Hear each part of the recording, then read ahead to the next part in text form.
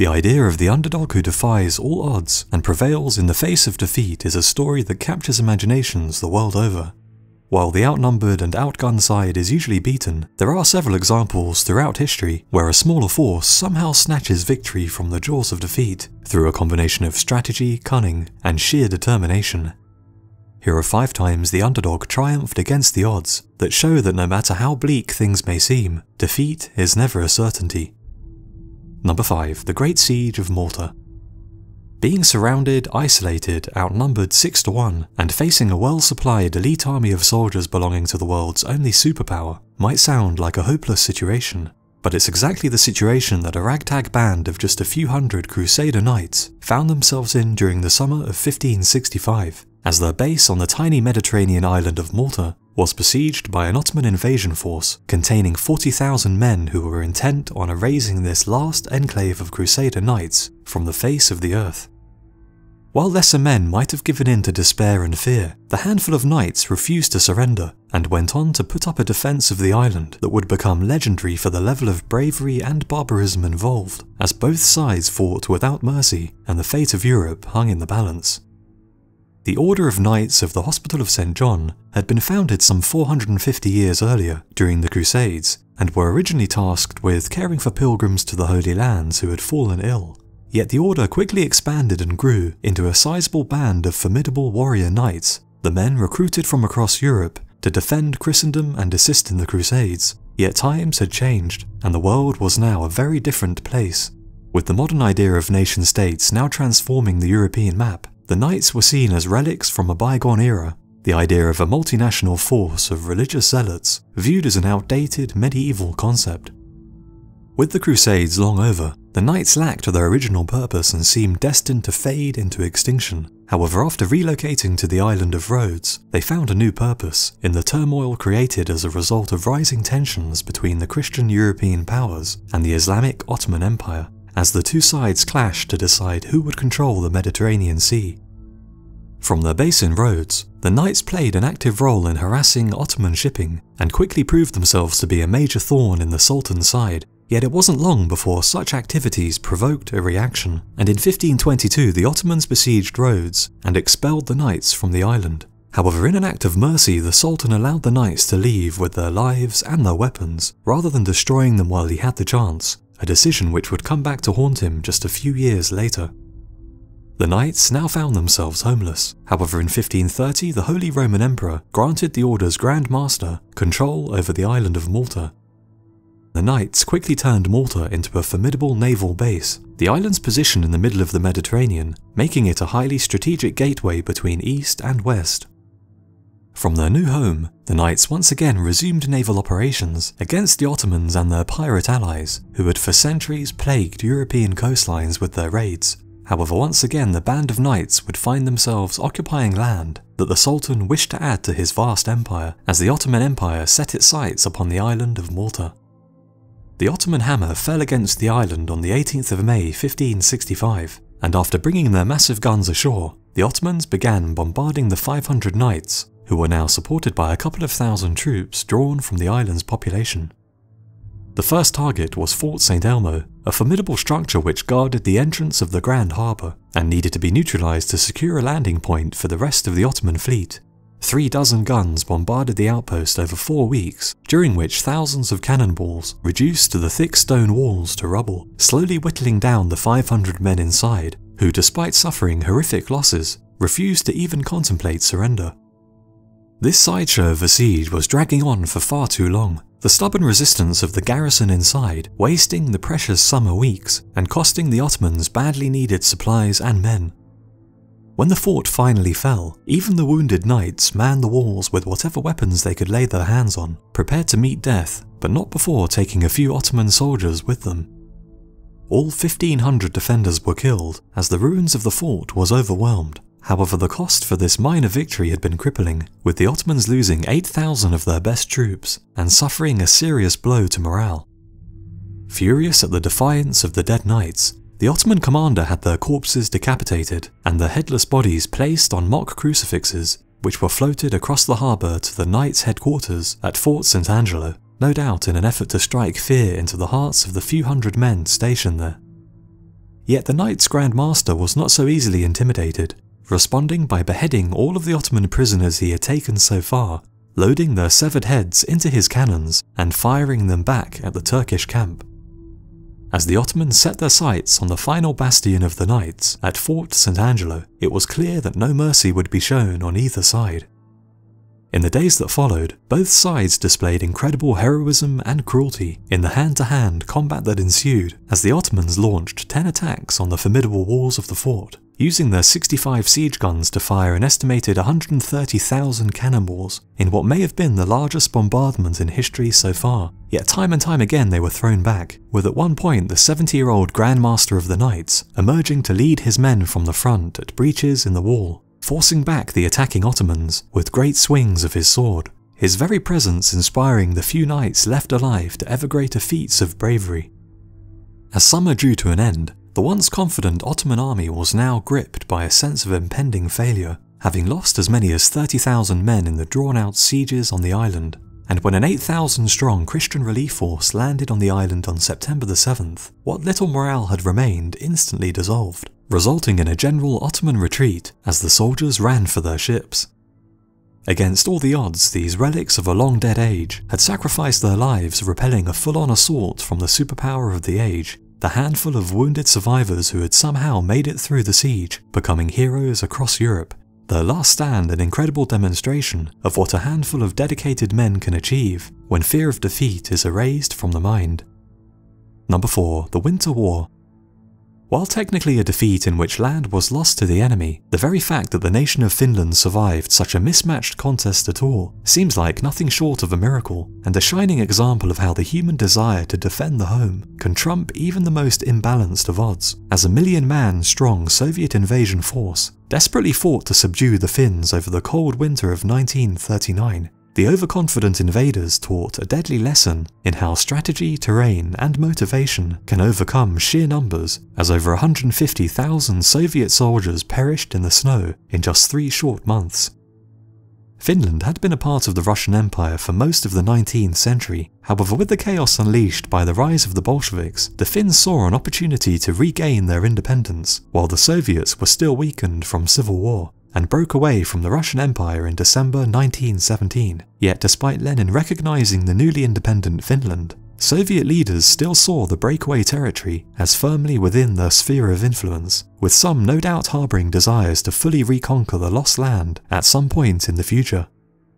This desire became the official foreign policy of the Soviet Union with the rise of Stalin, a man who was determined to restore the borders of the old Russian Empire by diplomacy or direct force, recapturing the vast amount of land lost during the chaos of the revolution and civil war just two decades earlier. When the land was lost, the fledgling Soviet Union was too weak to hold onto it, but now times had changed, and Stalin commanded a vast war machine which he intended to put to use.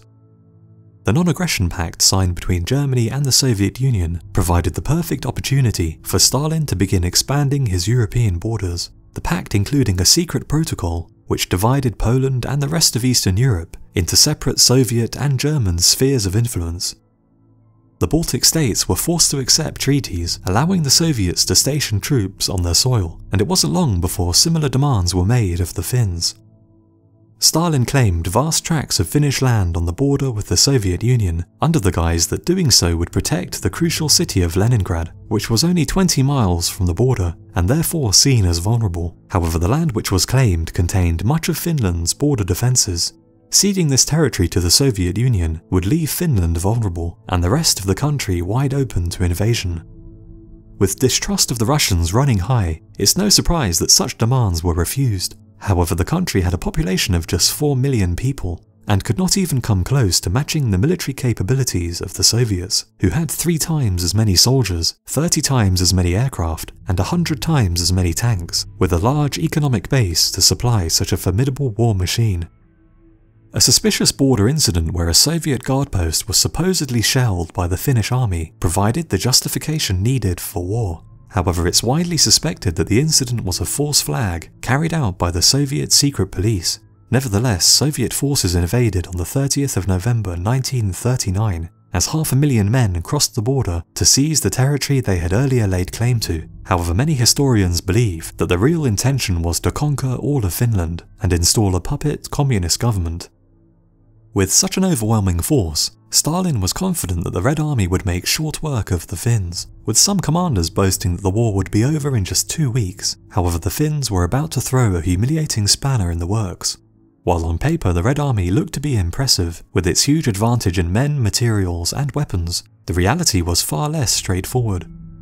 Stalin's vicious purges throughout the 1930s had left the Red Army's leadership decimated, with over half of its officer corps eliminated. In many cases, the positions made vacant filled by less experienced and often incompetent individuals who were selected primarily for their loyalty rather than their ability. In addition to this, all military decisions made by unit commanders on the front lines had to first be approved by a political commissar who would evaluate strategies based upon political criteria, a system of dual command which would wreak havoc during the battles to come. Yet the Soviets didn't have to only deal with internal issues. Finland itself was a mass of untamed wilderness, with few roads or tracks to speak of, forcing the troops to move through hazardous terrain that was often nothing more than dense forest and treacherous swamp, a situation made worse by the bitter winter of 1939 to 1940, which saw temperatures fall as low as minus 45. Countless thousands died in the ice before even firing a shot, the poorly trained troops wading through the snow on foot, while the Finnish enemies made effective use of skis to remain mobile rapidly moving to wherever they were needed most, where they could concentrate their smaller numbers more effectively. Many Red Army units lacked basic supplies such as suitable winter tents and snow camouflage, and were thus reduced to sleeping with whatever cover they could forage, resulting in casualty rates as high as 10% caused by frostbite before even crossing the Finnish border. When battle did commence, their regular khaki uniforms made them easy targets for the Finns who were wearing snow camouflage, which rendered them almost invisible to the Soviets, resulting in waves of Red Army soldiers being cut down before the enemy was even sighted. The Soviet advantage in technology was also blunted by a clever use of simple but ingenious homemade weapons, the Finns effectively using logs and crowbars to jam the wheels of Soviet tanks, while the famous Molotov cocktail was mass-produced and used to deadly effect as the Finnish soldiers waged a guerrilla war in the snow-laden forests. Fighting for their homes, morale amongst the Finns was far higher than the Soviets, who were forced to fight or be shot by their own side. Even running was no longer an option, as the inhospitable terrain would mean a quick death for any man caught out in the open alone. Yet despite making the humiliated Soviet army bleed for every mile of land, the Russian juggernaut could not be held off forever, and after adopting new tactics and reinforcing with hundreds of thousands more men, a renewed offensive eventually broke through the Finnish lines. As winter drew to a close, it became clear that the Finnish forces had no hope of holding out any longer, and by March a peace treaty was signed in which 11% of Finland was ceded to the Soviet Union. Yet despite losing territory, the rest of the country had survived an attack, which was expected to have eclipsed them in a matter of days, making it through the war with their independence intact and exposing the many weaknesses of the Soviet Red Army, weaknesses which may have encouraged the Germans to attack the USSR a year later. Number 3. The Battle of Red Cliffs one of the largest naval battles in history would see a 400-year-old dynasty come crashing down as a massively outnumbered alliance of just 50,000 men took on an attacking force at least five times their number to decide the future course of China. The shockwave of the battle ushering in the Three Kingdoms period of Chinese history that would see decades of warfare and bloodshed as China was torn apart by three competing states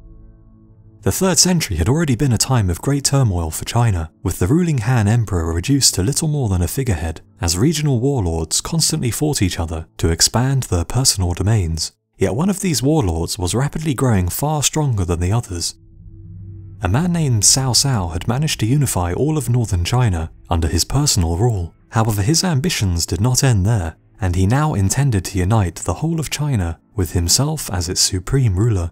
Amassing a huge army numbering perhaps a quarter of a million men, he turned his sights south, intending to gain control of the strategically important Yangtze River, the capture of which was necessary if he was to have any hope of defeating the southern warlords and realizing his dream of a united China.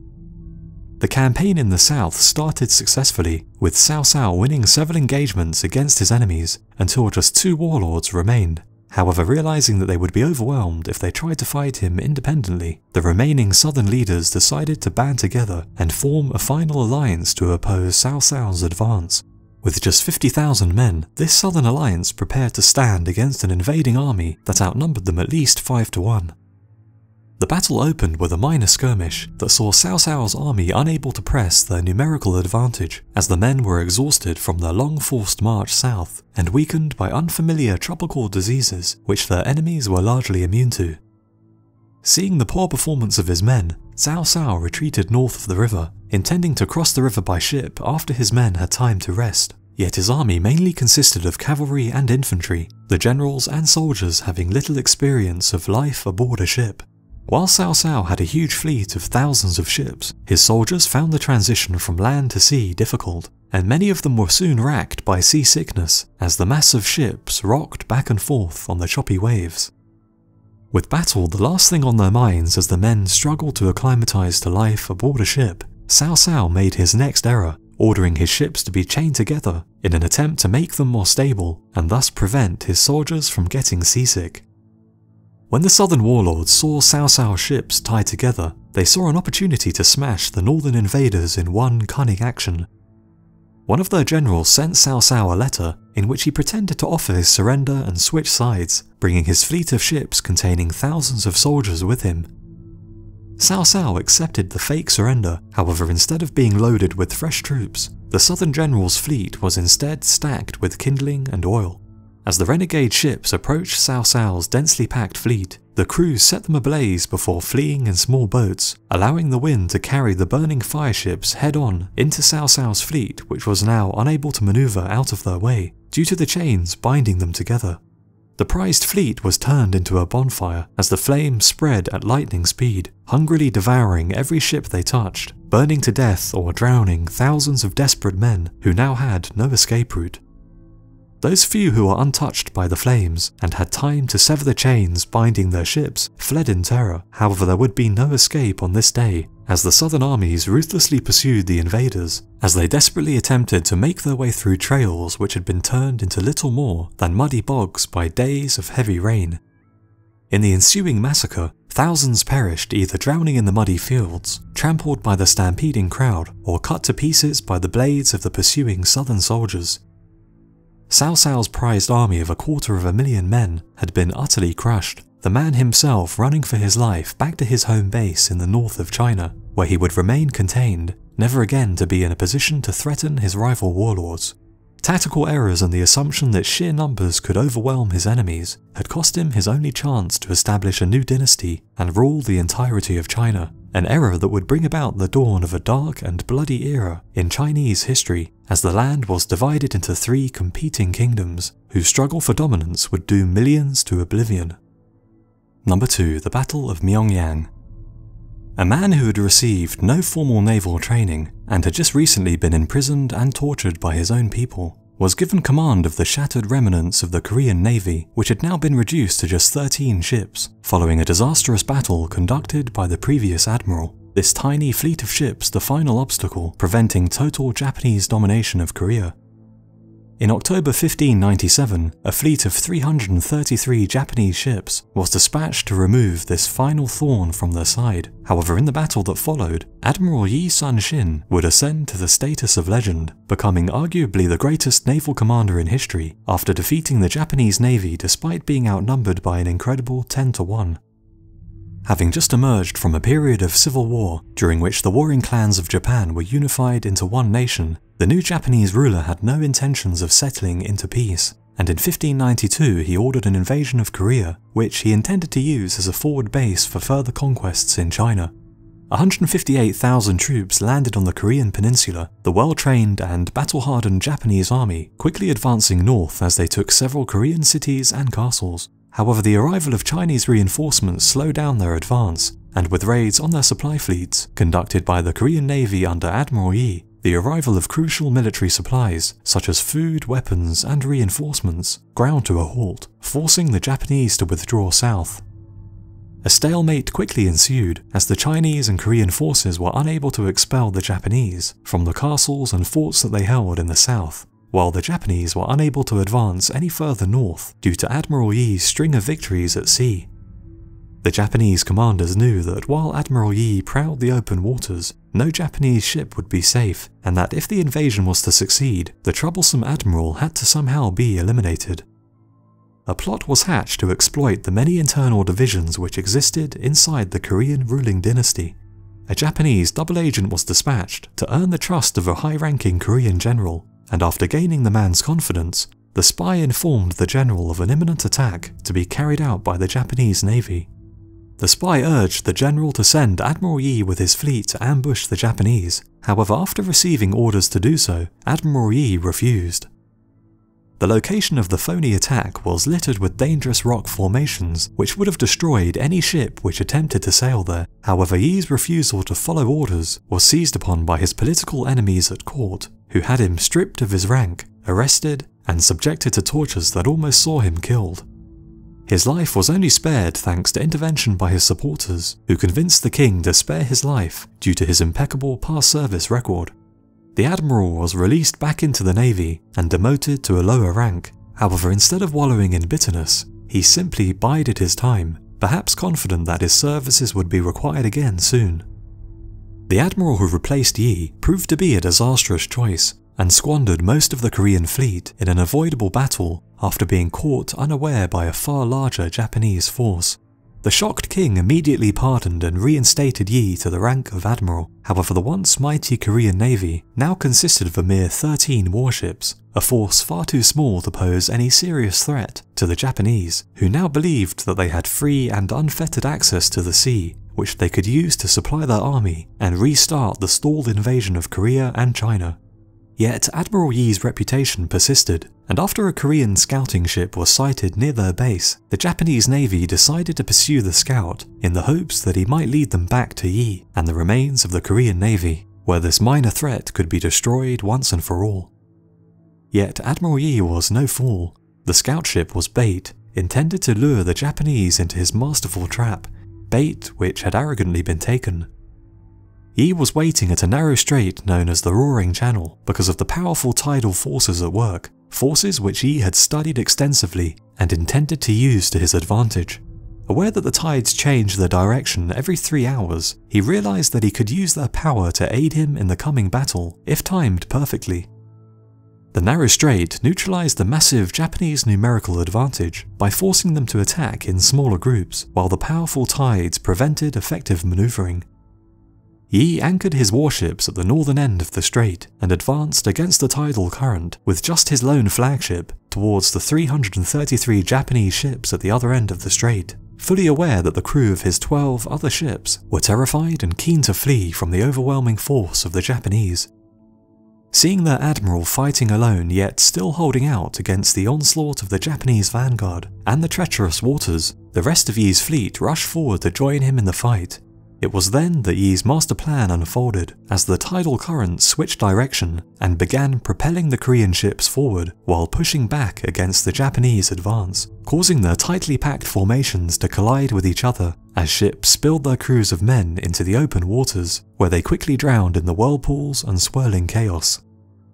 Yi seized the initiative and ordered his ships to begin ramming the disorganized Japanese fleet, which was now so tightly pressed together that hitting them with cannon shot was like shooting fish in a barrel. In the ensuing slaughter, 30 Japanese warships were sunk, with the loss of 8,000 men, while Admiral Yi lost just two of his crew and zero ships. The Japanese Navy was forced to retreat in shame, the shock of such an improbable defeat crushing their morale while rallying the beleaguered Korean and Chinese armies.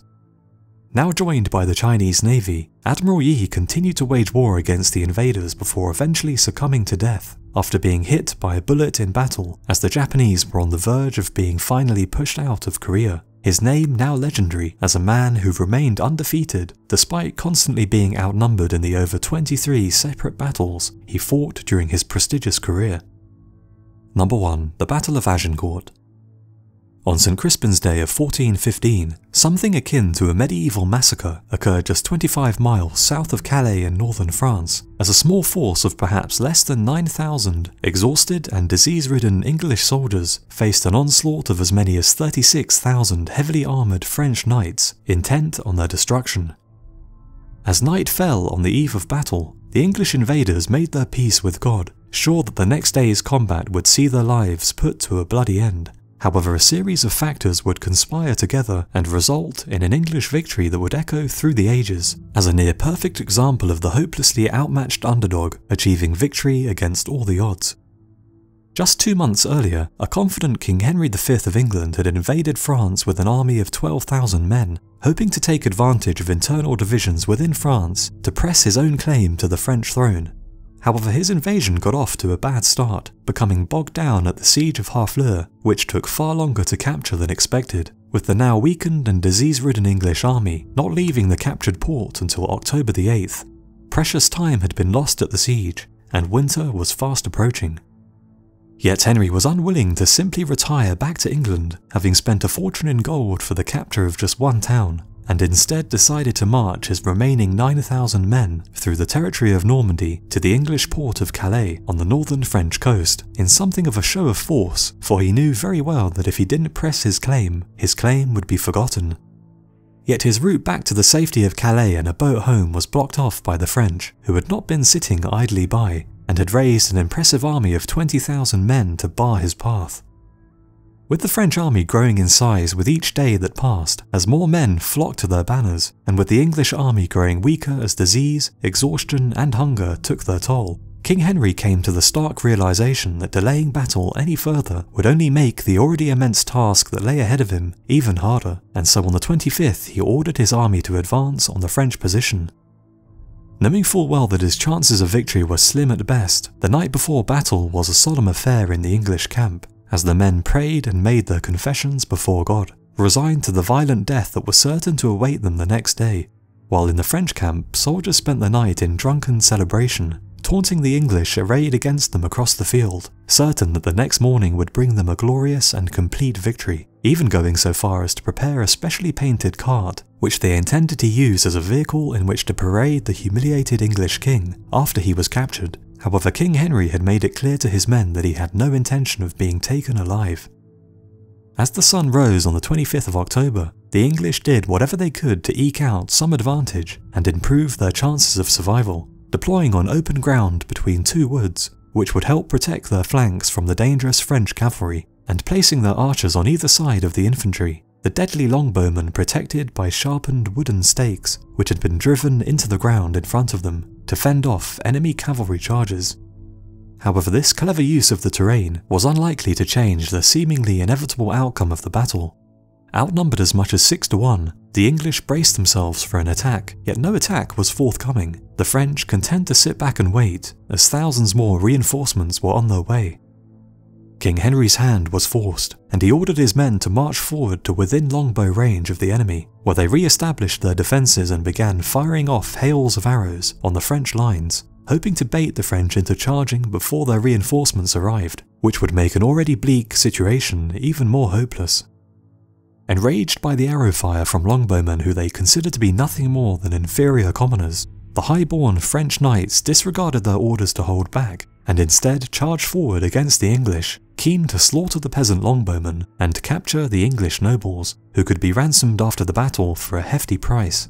Yet the large horses provided easy targets for the massed ranks of English longbows, as dense waves of arrows were fired into the charging French knights, impaling hundreds at a time thanks to the armour-piercing bodkin arrowheads, or simply knocking the armoured nobles to the muddy ground, their now injured and panicking horses unleashing chaos as they galloped out of control through the lines of French infantry who were advancing behind the cavalry, crushing hundreds of their own side beneath their hooves. Unable to get to the hated longbowmen due to the surrounding woodland and forest of razor-sharp stakes in the ground, the cavalry charge was smashed by the unending torrent of arrows the attack instead cluttering the narrow battlefield with the bodies of horses and dead knights, as well as churning up the already treacherous muddy ground, which was now resembling a waterlogged swamp, thanks to the hooves of the horses combined with the immense amount of rain which had fallen in the days leading up to the battle.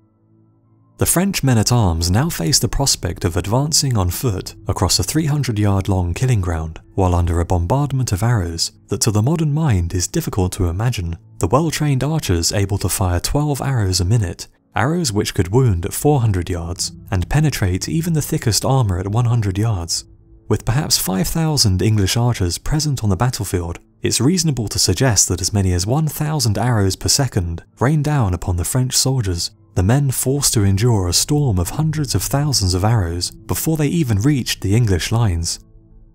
As hundreds were slaughtered with each passing minute, the knights pushed forward through the thick mud, stepping over the arrow-pricked bodies of their comrades. The effort of wading through the nightmarish terrain while wearing armour that weighed as much as 60 pounds, rapidly sapping their strength, so much so that by the time they reached the English lines, many of the French soldiers were all but completely exhausted, becoming easy prey for the fresh and eager English foot soldiers who simply had to knock the encumbered men to the ground, the French knights struggling to ever rise again once they had fallen into the mud. In a horrific twist of fate, the expensive armour that they had worn for protection would for many prove their undoing, the men sinking into the mud under the weight of the heavy plate armour, where hundreds drowned in the mixture of dirty water, mud, and blood that now flooded into the tight confines of their steel helmets. The great press of men was made worse as more waves of knights rushed in from behind, pushing those on the front lines straight on to the waiting lances of the English, the soldiers becoming so closely packed together that they were unable to swing their swords to attack. Such a sea of men meant that the longbowmen on the flanks no longer needed to even aim, as they fired the last of their arrows into the French at point blank range, before dropping their bows and switching to fearsome hatchets, daggers, and hammers, the men rushing in to wreak slaughter amongst the enemy. Unlike the popular perception of archers in modern culture as being slender and agile, these were muscular, powerful men who would have no problem caving in an armoured skull with a blow from their hammers men who had worked for years to build up the immense strength necessary to draw a full-sized longbow. The battlefield became a charnel house as the remaining French desperately fought to stay alive on top of a mountain of the dead and dying, while the English gleefully finished off as many of the enemy as they could, stabbing, smashing, and in many cases simply pulling up the victim's helmet visor to thrust a dagger through the trapped man's eye. The English army were on the brink of an unimaginable victory, however the slaughter was not over.